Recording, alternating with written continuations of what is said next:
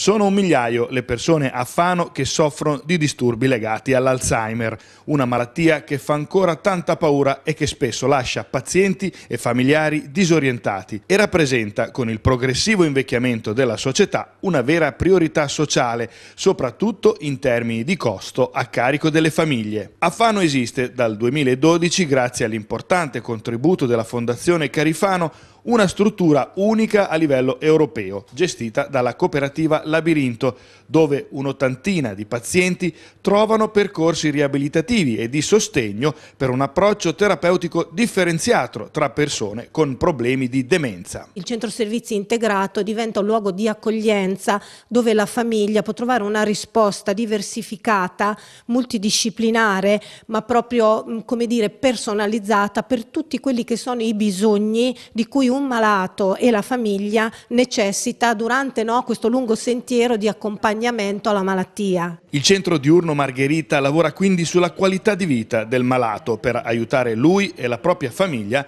a vivere la condizione di paziente in modo differente.